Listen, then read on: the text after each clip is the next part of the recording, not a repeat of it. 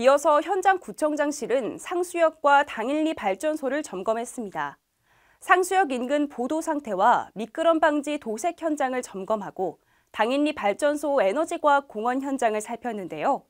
주민들의 안전과 편익을 위해 철저한 확인을 이어갔습니다. 자세한 소식 전해드립니다. 지난 금요일 제188, 189회 현장 구청장실의 현장 점검은 이어졌습니다.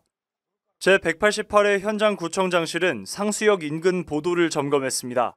상수역 4번 출구부터 레드로드까지 미끄럼 방지 관련 안전 보도 도색의 필요성을 확인하고 주민의 안전을 위협할 수 있는 가로수 상태를 확인했습니다.